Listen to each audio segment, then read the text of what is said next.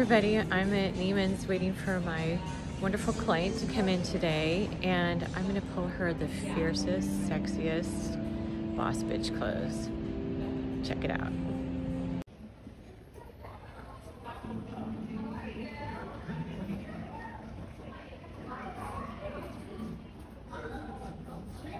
So here are some of the things that I found for my client and because she's a powerful executive, I wanted to um, give her a little bit of, you know, a little edgy.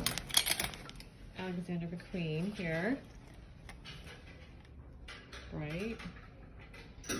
And this fabulous jacket, potentially